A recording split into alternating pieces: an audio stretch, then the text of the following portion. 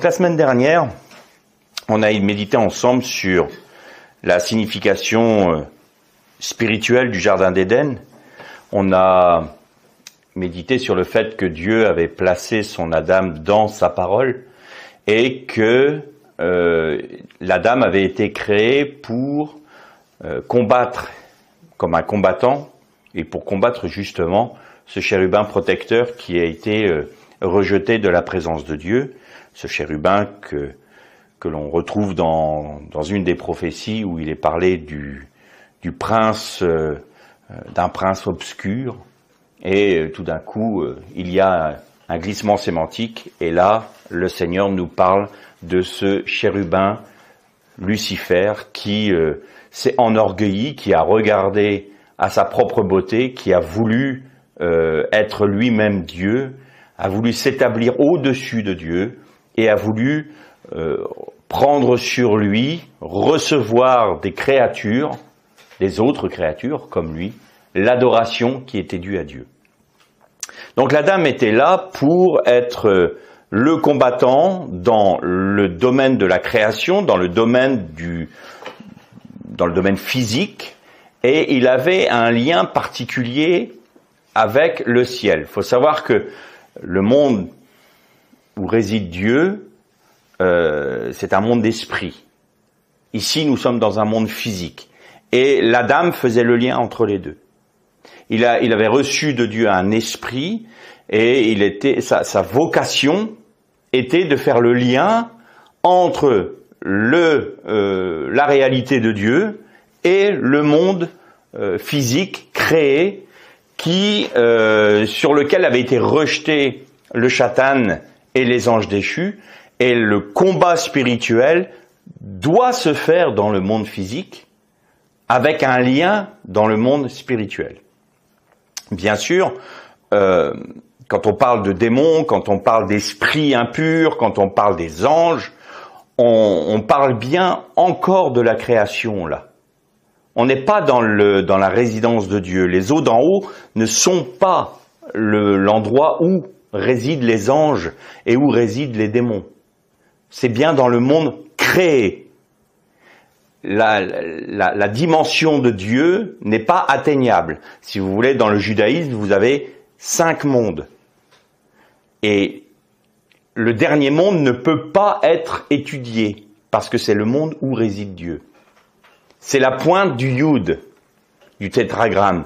Là, je vous parle un peu de, la, comment, l'exégèse juive, mais si vous voulez, les quatre mondes qui correspondent à la création correspondent à chaque lettre du tétragramme, donc quatre lettres du tétragramme. Donc vous mettez le tétragramme debout, et la pointe du yud touche le monde de Dieu. Mais nous ne pouvons pas l'étudier parce qu'aucune lettre révélée du nom de Dieu ne correspond à ce monde-là. Donc nous sommes vraiment dans le monde créé. Et les anges, le sadé, le sadé, est tout à fait euh, le prince de l'air, quand on a vu ça euh, la dernière fois, les animaux qui étaient euh, dehors. Donc on nous parle autant des animaux qui étaient en dehors du jardin d'Éden, bien entendu, mais ça va plus loin, ça nous parle aussi de tout ce qui est démoniaque, esprit impur et du chatan. Donc, on est toujours dans le domaine créé. Et le chatan, même en étant le chérubin le plus haut qui soit, il était tout proche du trône de Dieu. Il était, j'ai envie de dire, juste sous la rakia. Là, cette, séparation qu'il y a entre notre monde, notre réalité, ou les eaux d'en bas, comme j'aime à le, dire souvent, et les eaux d'en haut, cette séparation-là, on voit dans la vision d'Ézéchiel que le, le, chariot de Dieu est juste sous la rakia et que la gloire de Dieu repose dessus.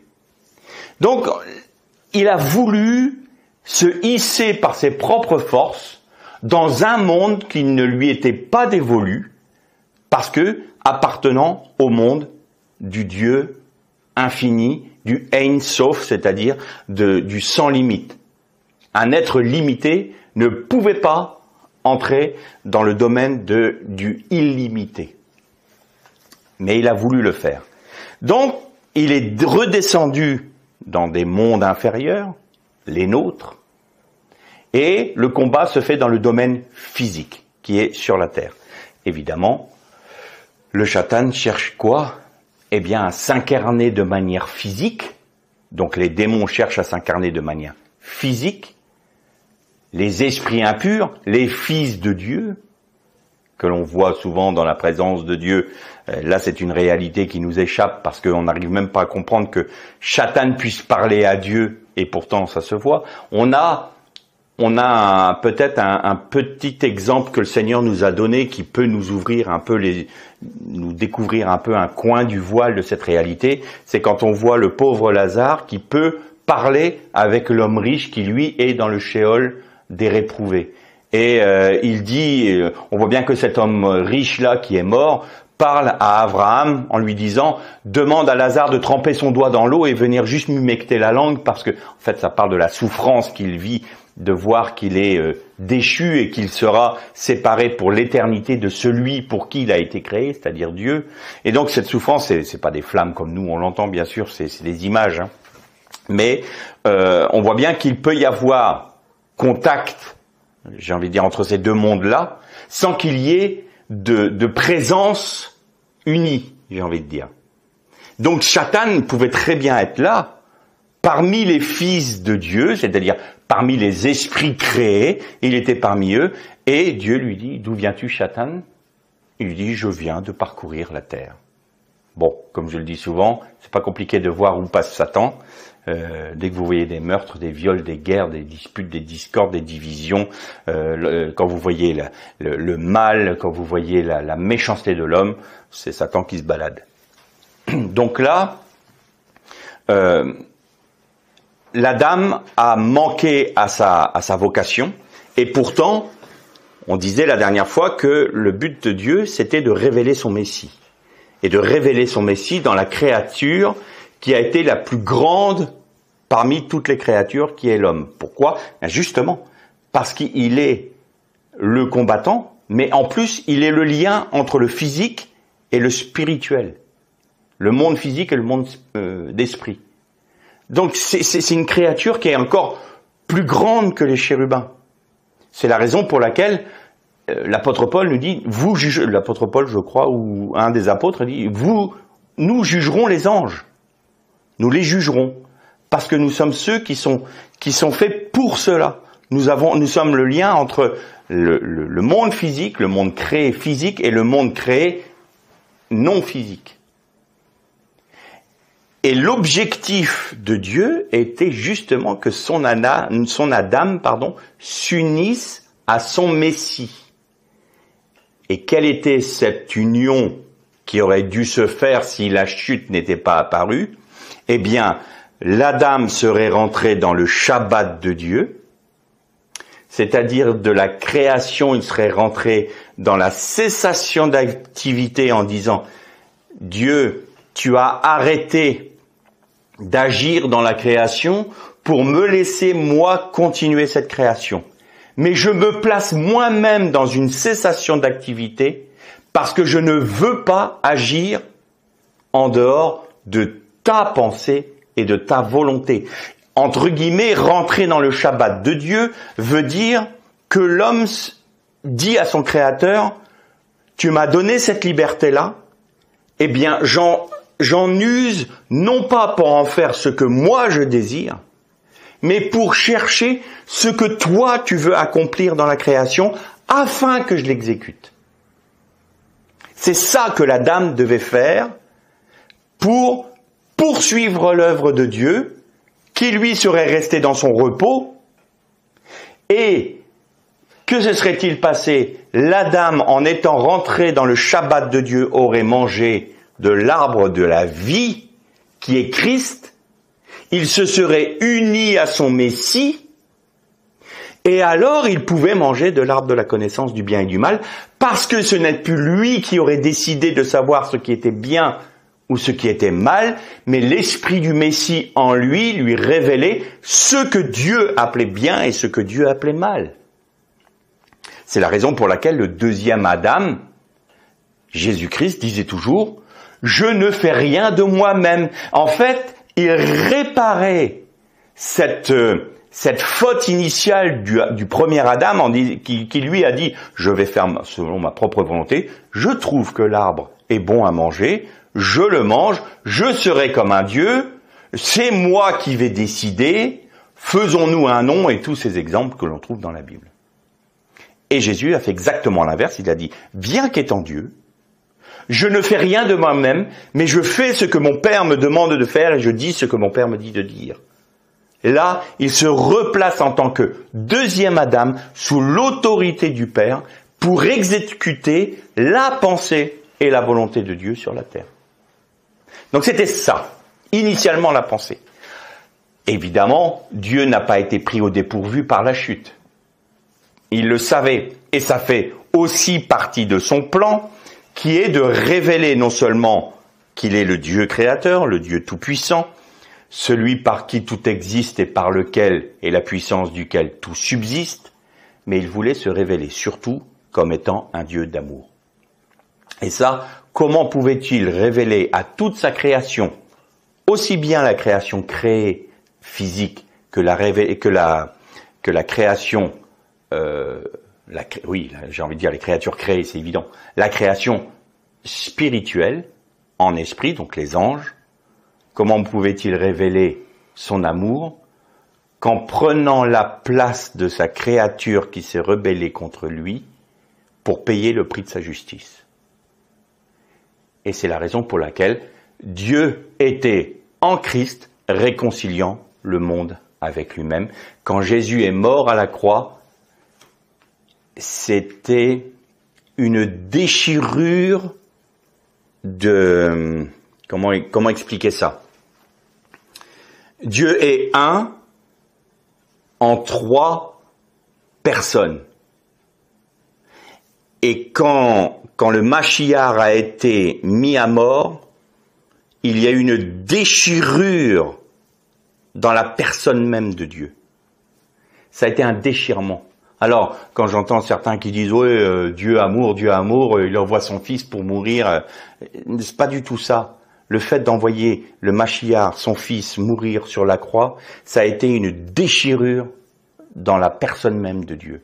Ça a été une souffrance que nous, nous ne pouvons même pas imaginer. Euh, quand il a vu le Machiar souffrir sur la croix, porter le péché de toute l'humanité, de toute l'humanité, quand vous voyez ce qu'on nous, on est capable de faire dans notre propre vie, vous multipliez ça par, à l'heure actuelle, 8 milliards d'habitants sur la Terre qui pêchent tous les jours, les meurtres, les guerres, les viols, les meurtres d'enfants, les, les, les, meurtres dans cette immondice qu'il y a dans ce monde, à ce moment-là, le Machiar a porté tout cela sur lui-même. Plus encore, il a été fait lui-même malédiction. On peut imaginer une seule seconde que Dieu s'est fait lui-même malédiction pour nous. Est-ce qu'on réalise ce que cela veut dire? Je vais essayer de, vous donner une image plus précise. On a, on a parlé l'autre fois que la cavote de Dieu donnait un poids. C'est le poids de Dieu. C'est la, la, la gloire de Dieu. Donc cavote veut dire la gloire de Dieu. Mais il y a une notion de, de, de, de peser. C'est lourd, de lourdeur. Une malédiction, c'est quelque chose qui nous allège. Vous vous souvenez, hein, j'ai parlé de ça. Et donc quand euh, quand on est trouvé trop léger devant Dieu, c'est qu'on a perdu de ce poids de la gloire de Dieu. Et quand on dit je te maudis, c'est dire je t'allège de cette gloire. Je te retire, je te, je te rends léger devant Dieu. Eh bien, Dieu a été fait malédiction pour nous. Il s'est allégé lui-même de sa propre gloire pour nous. Et ça, on ne le mesure pas, ça. Et trop quand du temps, on dit, ah, Jésus est mort sur la croix, on pense à ses souffrances physiques, bien évidemment. On en a suffisamment parlé. Vous savez que la crucifixion est un des, une des mises à mort les plus dures et les plus cruelles qui soient. Donc physiquement, bien sûr. Un jour, une sœur disait, ah, mais il était fils de Dieu. Je pense que Dieu lui a fait grâce pour qu'il sente pas les, la souffrance physique. Bien sûr que si, qu'il a senti la souffrance physique. Pensez donc.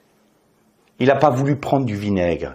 Il n'a pas voulu prendre, on appelle ça du vinaigre, mais c'était un mélange d'herbes pour pouvoir anesthésier un peu parce que la souffrance était telle les hurlements étaient tels que les Romains, entre guillemets, pouvaient avoir un léger, léger élan de cœur pour dire, bon, on vous donne un produit anesthésiant pour que ça soit pas trop insupportable. Voilà ce que c'est la crucifixion. Et Jésus, quand il a réalisé, quand il a dit j'ai soif et qu'il a réalisé que c'était ça, non, il voulait, il ne voulait pas atténuer l'œuvre de la croix, il ne voulait pas l'atténuer. Alors bien sûr qu'il a souffert physiquement, mais pire que ça, c'est dans le domaine spirituel. Cette union qu'il y avait avec son Père. Père, Père, pourquoi m'as-tu abandonné? Ça, vous entendez le déchirement de la personne de Dieu qui se fait à ce moment-là. Cette déchirure s'est faite à ce moment-là. Pourquoi m'as-tu abandonné? Et le Père en lui-même souffrait parce que comme il ne peut pas, par sa sainteté, cohabiter avec le péché, il a dû se séparer de son Messie. Le Christ souffrait, mais le Père souffrait. C'est simplement parce qu'on ne pouvait pas l'entendre. Mais je ne serais pas surpris que dans tout l'univers, dans toutes les créations, on a entendu un hurlement. Et ce hurlement s'est produit dans le monde physique par le déchirement du voile du temple, par les tremblements de terre, par les ténèbres qui sont tombées. C'est Dieu qui hurlait. Parce qu'il était déchiré à cause de nous et à cause de notre péché. Donc le but de Dieu était que son Adam soit uni à son Messie pour vaincre son ennemi. Depuis lors, la chute étant venue, il n'a eu de cesse que d'annoncer ce dont on vient de parler, le sacrifice de son Messie pour sa créature. Et là, il a mis en place tout un plan de rédemption. Alors évidemment, je n'ai certainement pas la prétention de, de vous apporter quelque chose d'exhaustif dans ce domaine. C'est tellement large, c'est tellement grand, c'est tellement puissant que impossible de faire le tour, une vie nous suffirait pas. Mais je voudrais qu'on prenne juste un fil conducteur qui nous amène non seulement à la croix, bien entendu, ben évidemment, puisque c'est central, mais aussi que donc de la dame nous amène à la croix et de la croix nous amène au règne. Et j'aimerais qu'on essaye, de manière non exhaustive, je répète, essayer de voir un peu ce que le Seigneur fait et ce que le Seigneur a produit et ce qu'il nous annonce dans sa parole. Si on devait résumer la Torah ou la Bible en une courte phrase, on dirait Dieu a caché sa gloire dans sa parole et par l'histoire de l'humanité, il révèle son plan de rédemption. C'est tout. Si vous lisez la Bible avec cette pensée, où se trouve le plan de rédemption de Dieu, alors vous avez une bonne approche de la Bible. Pourquoi? Parce que Seigneur va pouvoir vous révéler non pas une simple histoire l'histoire de Noir, l'histoire de Moshe, l'histoire de Gédéon, l'histoire de Ruth, toutes ces histoires bibliques, le temps des juges, l'Égypte, la sortie d'Égypte, le temps dans le désert, toutes ces histoires qui font partie de l'histoire de l'homme, de l'histoire humaine, cachent en leur sein une seule et même chose, le plan de rédemption de Dieu qui nous amène à Christ, qui est vainqueur de son ennemi, c'est-à-dire le fameux chérubin, le chatan. C'est tout. Pourquoi ça nous est donné comme ça? Parce que justement, nous sommes les combattants. Qu'est-ce qui c'est que la Torah Qu'est-ce que la Bible pour nous? Eh bien, c'est notre nos ordres pour le combat. Dieu nous donne la méthode. Alors, nous, on ne peut pas avoir une vision globale des choses, parce qu'on est créé, parce qu'on est limité. Dieu seul peut le faire. Donc, qu'est-ce que fait Dieu? Dieu, au fur et à mesure de l'histoire de l'humanité, de la manière dont elle se déroule, nous dit voilà où est mon plan. Discernez quelle est ma pensée dans l'histoire de l'humanité et vous comprendrez ce qu'est ma rédemption. Et donc, à partir de là, vous pouvez conformer vos vies non seulement à ma parole, bien entendu, pour être collé à la pensée de Dieu dans la grande histoire de l'humanité, mais en plus, je vais vous donner la capacité de discerner les temps pour que vous puissiez combattre avec moi spirituellement et demander ce qui est bon de faire au moment où vous vivez sur cette terre et dans le lieu où vous êtes placé sur cette terre. Et le seul moyen de découvrir tout cela, c'est à travers sa parole. Donc là, pendant, évidemment, on va pas faire le tour aujourd'hui. Hein. Je, je, je, ne pense pas qu'on finira en une seule fois. Je pense que euh, la méditation de, sur le jardin d'Éden était l'introduction de ce qui va suivre, et euh, on va essayer de voir un peu dans cette histoire d'humanité ce que Dieu a, a fait et ce que Dieu est encore en train de faire pour révéler maintenant non plus le, le Messie souffrant comme au tout début à travers la Torah, mais comme maintenant le Messie régnant. Et ensuite, une fois que le Messie aura régné, les nouveaux cieux, les nouvelles terres, parce que le but, il est là. Il n'est pas du tout... Euh, comment Dieu n'a pas abandonné son idée première. Les nouveaux cieux, les nouvelles terres, ça sera quoi? Ça sera un monde physique, avec des hommes physiques, qui ont ce lien avec le non physique, sans qu'il y ait d'anges déchus et d'ennemis, parce qu'ils auront été vaincus. Donc il y aura cette création totale, en parfaite harmonie, selon la pensée et le cœur de Dieu pour l'éternité. C'est, moi, le millénium est une énorme récompense. Je trouve ça merveilleux. Mais alors, les nouveaux cieux, la nouvelle terre, moi, là, ça, ça me fait rêver. Franchement, ça me fait rêver.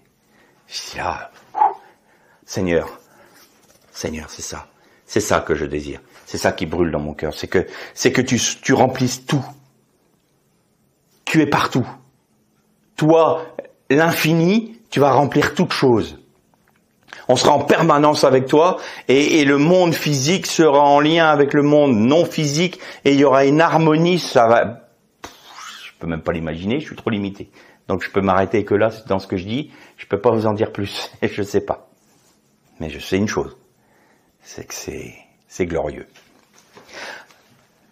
Alors, on va partir de la chute d'Adam, et puis on va lire, si vous voulez bien, un court texte dans le livre de la Genèse au chapitre 5, et on va lire à partir du premier verset. Alors évidemment, on va pas lire tout le passage euh, des généalogies, ces fameuses généalogies. Vous savez, c'est les, les, c'est les passages où on passe en vitesse parce que déjà les noms hébreux, on, oh là là, c'est lourd. Mais en plus, euh, une liste de noms. Vous savez que chez nous, les, occidentaux, on, on, lit ça très vite, très très vite. Mais par contre, un juif, il peut passer des heures parce que la généalogie et les noms, c'est ultra important pour eux. Si, nous, on va passer très vite sur la généalogie pour voir un peu ce qui s'est passé après, eux vont, l'après, ce que nous, on trouve important, ils vont le mettre en secondaire et ils vont décortiquer les généalogies parce que les noms sont importants et les filiations sont importantes. On n'a pas du tout les mêmes pensées. Hein. Donc on va lire ce texte-là, chapitre 5 du livre de la Genèse, à partir du premier verset. Voici le livre. Alors là, je, trouve que cette traduction, elle est merveilleuse parce que les trois quarts du temps, dans nos traductions françaises, euh, vous avez voici euh, l'histoire de, des générations d'Adam ou euh, euh, les engendrements d'Adam ou la généalogie d'Adam, mais il nous est jamais parlé du livre. Voici le livre de la généalogie d'Adam. Le jour où Dieu créa les humains, il les fit à sa ressemblance. Hommes et femmes, il les créa, il les bénit et les appela du nom d'humain, Adam, le jour où ils furent créés. Adam vécut 130 ans, puis il engendra un fils à sa ressemblance, selon son image, et il l'appela du nom de Chet. Les jours d'Adam, après qu'il eut engendré Chet, furent de 800 ans. Il engendra des fils et des filles. La totalité des jours d'Adam qu'Adam vécut fut de 930 ans, puis il mourut. On s'arrête là pour l'instant. Alors là, il y a tellement de choses. Déjà dans ce court passage. Juste avant, au chapitre 4, on nous parle de la généalogie de Caïn. Et on voit que à un moment, euh, un des fils de Caïn s'appelle Lémer et qu'il prend deux femmes. Vous savez que Caïn est sorti de la pensée de Dieu. Et Lémer a été encore plus loin. Euh, en étant sorti de la, de la pensée de Dieu, l'homme devait s'unir à sa femme et former la dame. Et Lémer a pris deux femmes. C'est le premier euh, polygame de l'histoire de l'humanité. Et les noms de ces femmes ne se trouvent que dans la Genèse, nulle part ailleurs. Vous avez Ada et Tsilla. Euh, Tsilla, je crois qu'on on la trouve encore euh, euh, un peu plus loin, mais Ada, c'est la seule. Et Ada veut dire une parure ou porte, quelque chose que l'on porte. Les mers veut dire la force. Et Tsilla veut dire l'ombre une ombre. Et en fait, quand vous voyez l'émer qui a dit, euh, vous avez entendu dire, écoutez, femme de l'émer, ce que l'émer a à dire, bon, c'est des, formules un peu empoulées de, l'époque, mais c'était ça. Il disait, euh, Caïn a tué pour un ennemi, mais euh, tuera sept fois pour un même ennemi. Une pensée comme ça. Donc vous voyez cette pensée de violence et de revanche et de, de, vouloir mettre la, la, violence sur la terre. Et l'émer, ça veut dire la force que je porte et l'ombre de ce que Dieu désire pour l'humanité. Voilà ce qu'a pris le fils de Caïn quand il a euh, pris ces deux femmes. Ma force, je la porte non pas pour servir Dieu, parce qu'on va voir qu'il y a un autre lémer qui est dans la Torah. Mais pour être l'ombre de ce qu'elle doit être. Alors plutôt que d'être lui l'ombre de Dieu, l'image de Dieu, il dit non, c'est ma force qui va être l'ombre de ce que Dieu veut, c'est-à-dire je vais faire ma propre volonté. Et euh, quels enfants sont nés de ce fameux Lémer et de Ada et de Tzilla Ça a été Yubal, Yubal qui était celui qui était le berger, j'ai envie de dire euh, celui qui était près des troupeaux. Donc, on pourrait se dire celui qui va essayer de nourrir l'humanité et de la vêtir. Et vous aviez Tuval Caïn, parce que Caïn veut dire forgeron, et Tuval Caïn est celui qui travaillait les métaux. donc on peut dire qu'à ce moment-là, il y avait Yuval qui était pour nourrir et pour vêtir l'humanité. Vous aviez Tuval qui lui était tout ce qui était technologique. Et un peu plus loin dans le texte, il nous est parlé d'un troisième fils qui lui euh, faisait de la musique avec euh, différents instruments. Et là, vous avez ce que j'ai envie de dire euh, l'entertainment, donc tout ce qui va être la réjouissance du cœur de l'homme dans l'art, dans, tout ce que vous voulez. Hein. Voilà. Donc l'humanité qui sort de sa vocation et pour se créer son monde à lui, à elle, pardon, c'est l'humanité, pour créer son monde à elle, en se sub, euh, comment dire, en ne dépendant pas de Dieu et trouvant en elle-même toutes les ressources dont elle a besoin pour vivre. Sur le domaine technologique, sur le domaine physiologique, donc nourrir et vêtements, et dans le domaine de la réjouissance du cœur. Donc là, vous avez toute cette généalogie de Caïn qui sort de la pensée de Dieu et qui va vers ben, ce qu'on trouve aujourd'hui. Hein. On est toujours dans la même chose, la technologie, la nourriture, euh, le bien-être entre guillemets de l'homme et, euh, et s'amuser et trouver du divertissement. Divertir le cœur de l'homme et mais tout cela en dehors de la pensée de Dieu, en étant, en se faisant un nom soi-même, en ne voulant pas dépendre de Dieu. Et là, vous avez, tout d'un coup, après cette, euh, comment dire, ce, ce récit de la famille de Caïn c'est-à-dire de la généalogie de cette humanité qui sort de la pensée de Dieu pour suivre son chemin de perdition. Et là, vous avez dans cette généalogie euh, tous les, les néphilim qui sont venus après s'unir avec ces hommes-là, donc s'incarner pour pouvoir produire l'iniquité dans l'humanité. Eh bien, tout ça a donné de cette ligne-là euh, que l'on trouve encore aujourd'hui dans certains dirigeants, pas que des dirigeants de pays, mais dans les marchés financiers, enfin, les néphilim sont toujours là. Faut pas se leurrer. Et ni, le, fils de la perdition, ce sera pas euh, quelqu'un qui sortira comme ça euh, par hasard. Il y a bien quelque chose qui, qui s'emboîte. Ceux qui sont en train de mettre en place tout ce système mondial de la grande Babylone et qui vont au bout d'un moment se prendre un chef qui va les diriger dans la révolte contre Dieu, bon, bah c'est l'esprit des Néphilim. Et là, vous avez tout à fait cette généalogie de Caïn qui sort de la pensée de Dieu et qui veut sortir l'humanité, tel Nimrod, on en parlera un peu plus tard, de la pensée de Dieu et se soustraire surtout à l'autorité de Dieu. Et là, vous avez un basculement. Et à la fin du chapitre, c'est assez étonnant, à la fin du chapitre 4, vous avez juste cette petite insert. Alors là, on vient de nous parler de Caïn et de tout ce qu'il, toute sa famille. Et tout d'un coup, tout à la fin, l'homme Adam eut encore des relations avec sa femme, elle mit au monde un fils et l'appela du nom de Chet, qui veut dire remplacement ou à la place ou en compensation. Car, dit-elle, Dieu m'a attribué une autre descendance à la place d'Evel que Caïn a tué. De Chet aussi naquit un fils qu'il appela du nom de Hénoch, c'est alors qu'on commença à invoquer le nom du Seigneur. Comme si le Seigneur disait, oui, vous voyez, l'humanité, depuis la chute, va en se dégradant. Donc là, faut, faut, faut jamais oublier une chose importante. Caïn. Caïn étant l'aîné, il est l'héritier du nom d'Adam.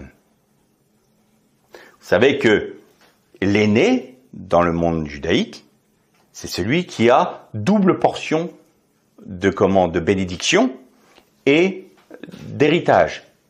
C'est pour ça que Ésaü, Esav, a pleuré auprès de son père Yitzhak en disant mais mais mon héritage, donne-moi quelque chose, donne-moi une bénédiction, alourdis-moi, je sens que je suis trop léger, alourdis-moi, père, père. Il pouvait pleurer et son père dit non, je peux plus. J'ai béni Yaakov à ta place. J'ai béni Yaakov à ta place. Ton droit d'aînesse, tu l'as perdu. Donc Caïn, il est l'aîné. C'est lui, l'héritier. Et alors, le risque qu'il pouvait y avoir, c'est que l'humanité, dans son ensemble, hérite non pas de la dame originelle, mais de son héritier Caïn. Et à ce moment-là, le plan de rédemption de Dieu aurait disparu. Parce que le plan de rédemption de Dieu était où? En Ével. Et Ével, ça veut dire une vapeur, un souffle. Vous savez, quand il fait froid et que vous soufflez, vous avez une vapeur qui sort de votre bouche. Ça, c'est Ével en hébreu. Et Ével est passé comme une vapeur sur la terre. Et c'est Caïn qui a pris la place. Ével, qui était la postérité d'Adam, sur laquelle devait reposer la rédemption de Dieu, a disparu, a été ôté de l'humanité, ainsi que sa descendance. Pourquoi? Le texte hébreu nous dit, et les damim, damim de ton frère, crient du sol jusqu'à moi. Et les damim, c'est les sangs au pluriel. C'est-à-dire que dans nos traductions françaises, on entend et le sang de ton frère crie jusqu'à moi pour demander. Non, c'est les sangs de ton frère. C'est-à-dire, il y a le sang de ton frère et tous ceux qui auraient dû naître, toute la lignée qui aurait dû naître de ton frère, qui n'ont pas pu voir le jour parce que tu l'as mis à mort. C'est tous ces sangs-là jusqu'à la fin des temps qui crient à moi.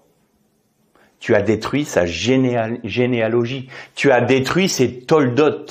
Toldot en hébreu, c'est généalogie ou engendrement. Tu as tué ses engendrements. tu as détruit les toldotes de ton frère.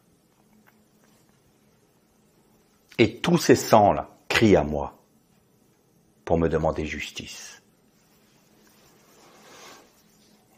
Donc, Caïn aurait dû, s'il n'y avait pas eu autre chose, si un plan de rédemption n'avait pas été mis en place par Dieu, là, l'humanité s'arrêtait, parce que le jugement tombait, on n'en parlait plus. Hein.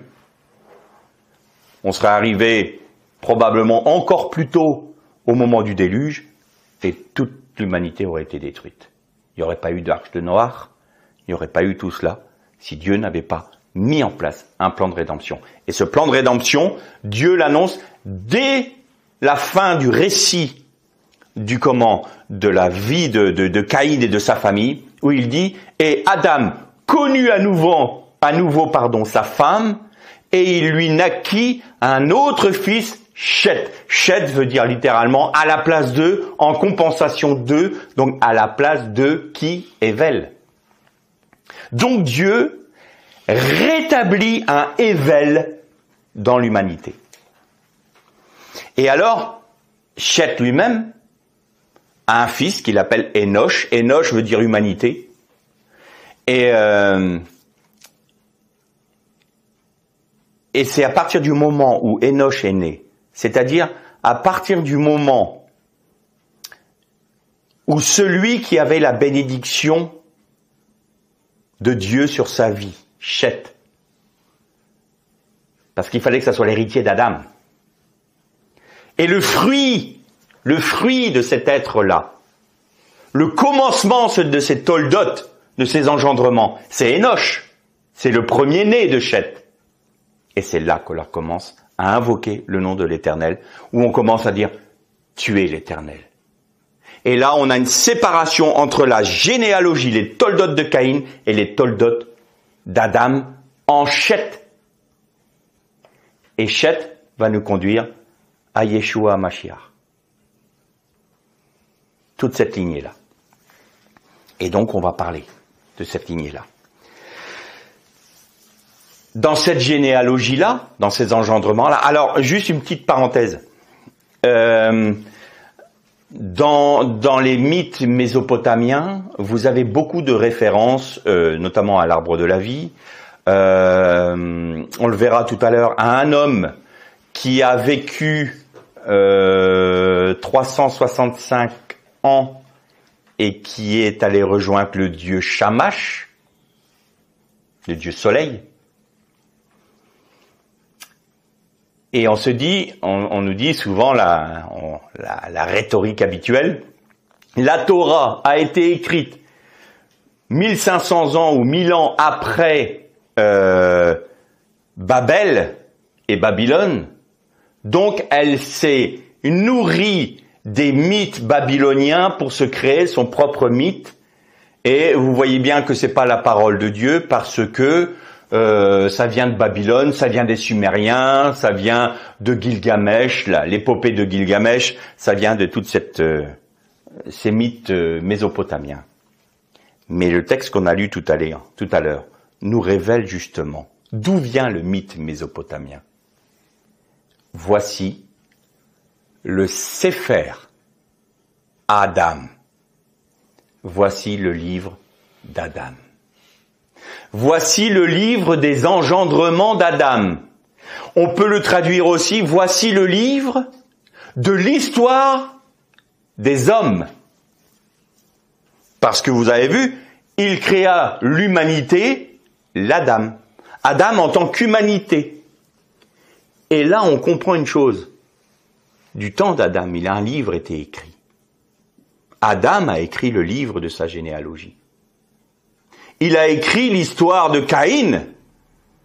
Il a écrit l'histoire de la chute.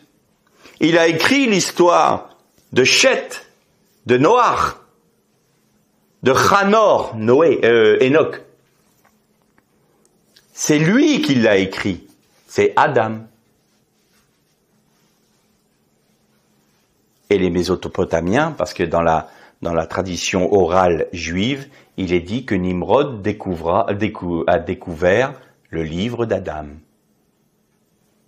Et en découvrant le livre d'Adam, qu'est-ce qu'il a découvert aussi? Qu'il était possible de nommer, de comprendre quels étaient les noms, et là je reviens à l'importance des noms, des démons, parce que si vous nommez un démon, vous prenez autorité sur lui. Et donc il a nommé des démons pour que les démons aident l'humanité à se rebeller contre Dieu.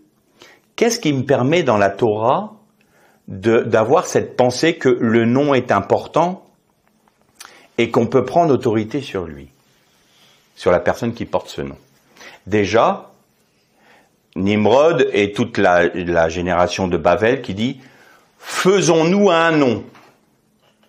Faisons-nous un nom. Ne nous laissons pas nommer par Dieu.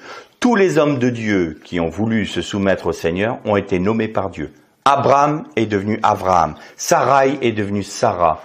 Même Yeshua, l'ange est venu dire à Marie, à Myriam, tu lui donneras le nom de Yeshua.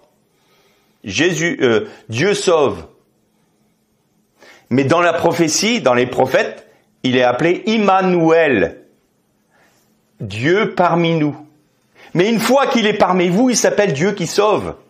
C'est pour ça qu'on peut dire Immanuel, Yeshua, c'est la même chose parce que oh bah, j'ai déjà eu aussi cette remarque. Ah oui, mais dans la Torah, il nous est parlé d'Immanuel et puis on l'appelle Yeshua, euh, alors ton Jésus. Mais c'est pas comprendre.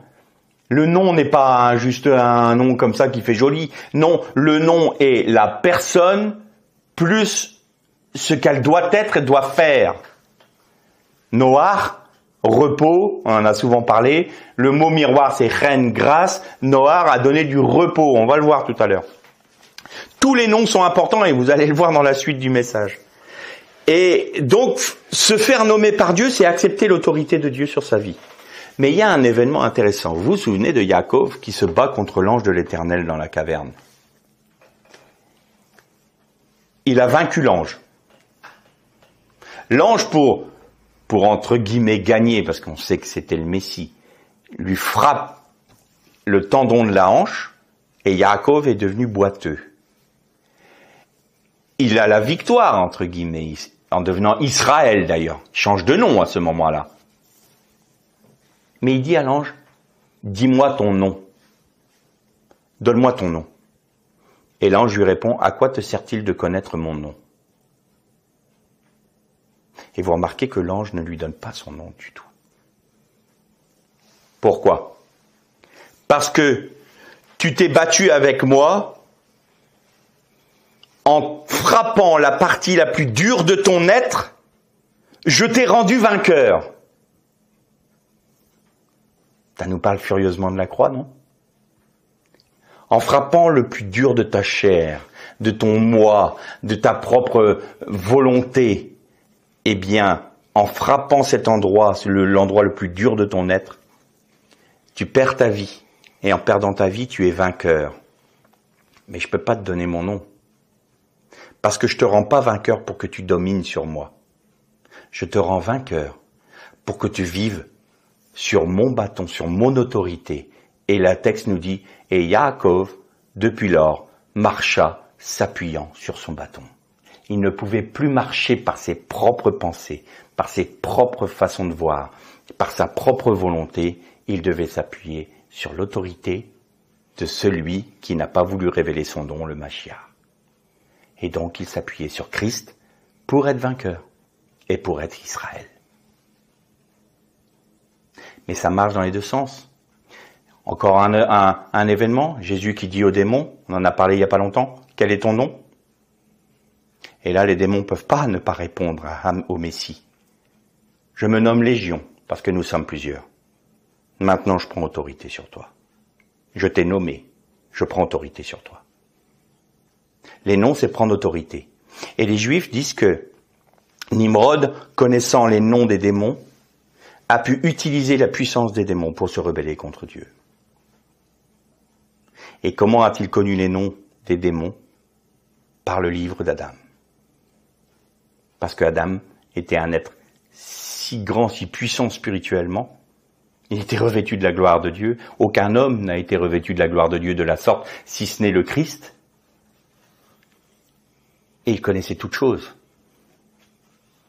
C'était pas le, gentil petit bonhomme euh, dans le jardin avec sa gentille madame, et puis euh, il batifole euh, parmi les fleurs et les plantes et les arbres, et puis tout le monde il est beau, tout le monde il est gentil, tout le monde il est heureux. Non, c'était un combattant, Adam. Il était revêtu de la gloire de Dieu, il était revêtu de la cavote de Dieu, du poids de Dieu, et il pouvait être un combattant, et il connaissait qui étaient ses ennemis par la révélation de Dieu, il connaissait les démons, il connaissait qui contre qui il luttait. Vous savez très bien, hein Là, nous, il nous est révélé juste un événement qui est la chute de la dame. Mais qui nous dit qu'avant, il n'était pas en lutte? On ne sait pas, la Bible ne nous en parle pas, je ne vais pas extrapoler. Mais la dame, c'était pas le pauvre petit bonhomme qui devait tout apprendre. Hein. Loin de là. L'humanité, depuis, a bien perdu au niveau spirituel. Et donc voilà, cette parenthèse, je la fais pourquoi? Parce que Dieu a caché la lumière de sa gloire dans la Torah. On en a déjà parlé de ça. Et il cache aux intelligents sa face. La gloire de Dieu, c'est de se cacher des intelligents. Il savait très bien que tout le monde allait dire que la Torah était issue des mythes babyloniens. Vous voulez pas me voir, vous voulez pas me chercher avec un cœur droit. Très bien. Eh bien, regardez. La Torah a été écrite 1500 ans après les mythes babyloniens, donc euh, probablement que Moïse s'est inspiré de ces mythes pour faire le sien propre. Je me cache. Et il y a juste un petit mot dans le cinquième verset de sa Torah qui dit Voici le livre des engendrements d'Adam.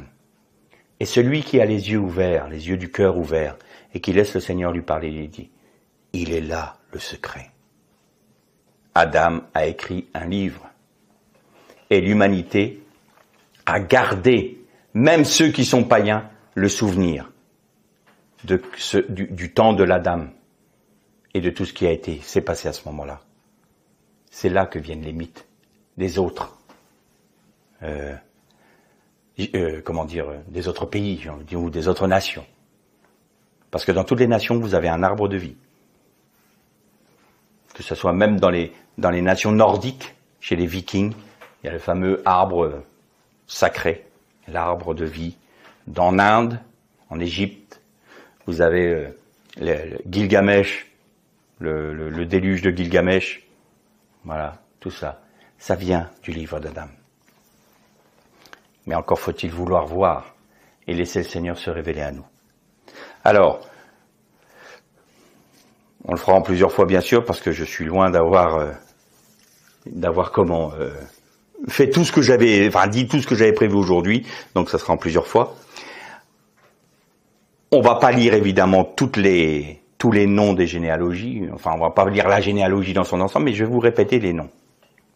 Parce que dans le nom, dans les noms de cette généalogie donc de Chet, hein, venant d'Adam, Chet compensation, Enoch, on commence à invoquer le nom de l'Éternel. Enoch est le troisième. Trois, c'est le chiffre de, la présence de Dieu. Pourquoi? Donc des eaux d'en haut. Pourquoi? Parce que Dieu est trois fois saint. Le comment? Ensuite, vous avez... Non, non, je dis une bêtise là. Trois, c'est Chet, pardon. Ben oui, évidemment, puisqu'il y avait Evel, Caïn, Chet. Chet, c'est le troisième dans la généalogie. Et donc, parce qu'on saute Caïn, évidemment, hein. il n'y a plus de Caïn, il remplace Evel. Donc, chiffre du ciel. Dieu est trois fois ça. Enoch, c'est le quatrième. Euh, le chiffre 4 correspond à la terre dans l'exégèse juif. Pourquoi? Parce qu'il y a les quatre euh, points cardinaux, les quatre vents, euh, quatre dimensions. Voilà, ça, c'est la Terre. Et vous en avez un qui sera le septième. Et sept, vous savez pourquoi le sept est important? Parce que donc quatre, c'est le chiffre de la Terre, trois, c'est le chiffre du ciel. Et on remarque que le septième jour, Dieu fit le Shabbat. Or, dans le temps des, des générations, euh, des comment, des Mésopotamiens, il n'y avait pas de semaine de sept jours. Parce que ils avaient une, un calcul lunaire, c'était un calendrier lunaire, vous savez? Et pour tomber juste, c'était une semaine de 15 jours. Pas 7. Seuls les Hébreux avaient une semaine de 7 jours. Et les Hébreux, alors, personne ne les comprenait, parce que ils avaient un calendrier lunaire aussi, le, calendrier hébraïque, il est lunaire, et pourtant ils avaient une semaine de 7 jours au lieu de 15. C'était pas du tout. Babylone avait 15 jours, sa semaine c'était 15 jours. Et on se dit, mais, mais pourquoi, vous, pourquoi vous êtes comme ça? Parce que 7 c'est important. 7 c'est justement ce qui va unir le ciel et la terre. Et c'est pour ça que c'est le chiffre de Dieu. Et c'est pour ça que c'est le chiffre de la plénitude. Et c'est pour ça que c'est le chiffre du repos, de la cessation d'activité, parce que c'est le ciel et la terre qui sont unis. En fait, on revient à dire ce qu'on a dit tout à l'heure. C'est la dame qui s'est unie au, au Machiar pour faire la volonté du Père. C'est la parfaite unité entre le monde spirituel et le monde physique qui accomplissent la pensée de Dieu et la pensée du Père. Et c'est sept. Et qui est le septième? Hanor, c'est-à-dire euh, Enoch. Et il nous est dit que Enoch marcha avec Dieu, puis il ne fut plus. Et il vécut combien de temps? 365 ans. 365 jours, c'est une année solaire. Et dans le mythe mésopotamien, il est parlé d'un homme qui a vécu 365 ans et qui est parti rejoindre le dieu Shamash. Ça ressemble beaucoup à un mot hébreu, Shemesh. Et Shemesh, c'est soleil. Donc, à Babylone, il y avait le souvenir de ce fameux Hanor, qui est venu rejoindre le dieu, eux ils l'appelaient le dieu soleil, parce qu'ils adoraient le soleil et la lune, mais il y avait ce souvenir en Mésopotamie et à Babylone notamment de ce fameux Ranor qui a vécu que 365 ans. Et puis, il y a un autre point intéressant. On en a parlé lors de notre dernier cours Zoom. Le mot il marcha avec Dieu, c'est Vaïtelach. Et Vaïtelach vient de la racine halach. Et Allah, ça veut dire se promener. Qu'est-ce que ça veut dire? En clair, le Seigneur, en remettant en place le, le comment? Le plan, son plan de rédemption, a dit regardez, celui qui va être le septième dans la généalogie, celui qui va typifier l'union de la terre et des cieux, eh bien c'est celui qui va pas connaître la mort. Parce que celui qui est uni avec le Messie, si la dame n'avait pas péché, eh bien, il aurait vécu sur la terre, il ne serait pas passé par la mort et il serait allé, il se serait promené avec Dieu. Vous savez que c'est le même alar, le mot alar, c'est le même terme qui est dit, et Dieu se promena dans le jardin. Se promener dans le jardin. Et donc, Noah, euh, Hanor, pardon, marcha, se promener avec Dieu, comme des amis. Et puis il ne fut plus. Pourquoi? Eh bien, parce que il a eu une marche normale, c'est-à-dire il marcha sur la terre, il, il euh, marcha en amitié avec Dieu, en communion parfaite avec Dieu, il passa pas par la mort, et comme il est lié avec le ciel, eh bien, tout s'est fait dans l'harmonie. C'est ça que ça voulait dire. Ranor, c'est ça qu'il a vécu. 365 jours. 365 ans. Une année solaire. On termine euh, pour cette fois-ci parce que l'heure tourne. On va parler donc des, de tous les noms des généalogies. Et vous allez voir que déjà là, Dieu a donné son plan de rédemption. Il l'a révélé dans les noms, justement, dans les noms de cette généalogie-là. Donc le premier c'est Adam, le deuxième c'est Chet, le troisième c'est Hénoch, euh, le quatrième c'est Cainan. Vous savez qu'il y a dix générations qui sont passées entre Adam et euh, Noah, et entre Noah et Avram, dix générations aussi. Bon, ça sera peut-être important après. Donc Cainan, Maalalel, Yared, Chanor, Metushalar, Lamer et Noah. Maintenant, à quoi correspondent ces noms? Bon, Adam, ben, c'est l'humanité. Chet, c'est à la place. Enoch veut dire aussi humanité. Canaan, c'est posséder. Maalalel, c'est la louange de Dieu. Yared veut dire s'abaisser. Chanor veut dire consacré. Metushalar, c'est à sa mort. Pourquoi? Parce que c'était dit à sa mort viendra le jugement. Et à la mort de Metushalar, qui est celui qui a vécu le plus longtemps, le déluge est arrivé. Dès que Metushalar est mort, le déluge est arrivé. La mer, qui veut dire la force, et Noir, qui veut dire repos. Vous savez qu'en hébreu, vous pouvez avoir des mots comme ça, et ça forme une phrase. Vous n'êtes pas obligé d'avoir de verbe. Mais vous pouvez en trouver le sens par rapport à, euh, à des mots comme ça. Je j'ai trouvé le psaume 6, par exemple, le proverbe 6 au chapitre 28, je crois, où euh, c'est qu'une liste de mots. Il y a juste le, le mot, le premier mot qui veut dire euh, car, qui se dit qui en hébreu, qui exprime le sens de tout, tout le reste euh, de la phrase.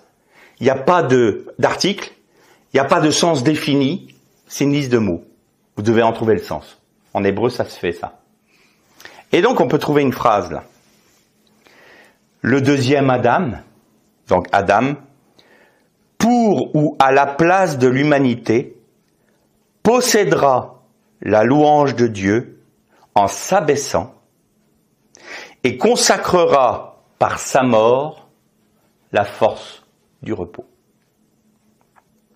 En clair, les dix générations après Adam à partir de Chet, nous parlaient de la mort de Jésus qui allait trouver grâce auprès de Dieu, aux yeux de Dieu, qui allait être approuvé par Dieu, loué par Dieu, parce qu'il a accepté de s'abaisser, de mourir pour donner le repos.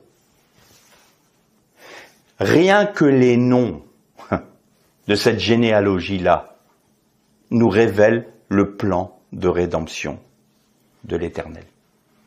Et ensuite, Dieu n'a eu de cesse que de mettre en place, de révéler à celui qui avait le cœur suffisamment humble pour le reconnaître et pour chercher sa pensée, de révéler comment ce plan de rédemption allait se mettre en place pour l'humanité.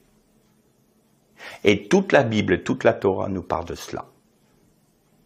Dieu a mis en place un plan de rédemption pour tous les hommes qui est d'ores et déjà révélé dans les dix générations qui ont suivi Adam. Selon le cœur de Dieu, on parle plus de Caïn là. Là, il y a deux humanités qui ont deux chemins différents. Il y a ceux qui vont vers la perdition et il y a ceux qui vont vers la, la, la rédemption. Tous les hommes peuvent être sauvés, bien entendu. Chacun est appelé, mais il y a une généalogie, il y a, une, il y a des toldotes. Les toldotes de Caïn vont vers la perdition. Seuls les toldotes selon Chet, selon Avel, vont être placés dans le Machiar, vont être en clair unis au Machiar pour avoir la victoire, comme Yaakov a eu la victoire en étant mort lui-même. Yaakov est mort à ce moment-là dans cette caverne.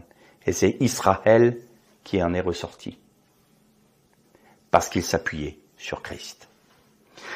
Alors dans la suite de nos méditations, on va poursuivre là-dessus avec différentes euh, images de personnages bibliques qui vont nous parler de cette rédemption et qui vont nous conduire jusqu'à euh, jusqu'à la croix et au-delà de la croix, quel est le plan de Dieu.